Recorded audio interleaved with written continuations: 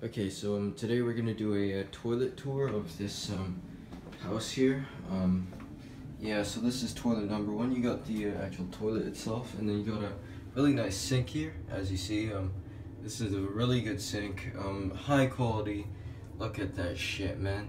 Oh yeah, turn on the tap. Yeah, boy, that's a good ass.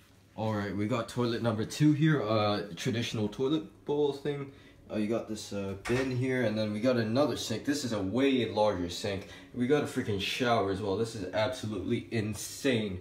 Top class toilet, fucking amazing. Alright, we got toilet number three here. Absolutely amazing toilet with a sink. Freaking toilet bowl once again. But this time we also got a shower as well. Fucking amazing. Both the toilets have showers.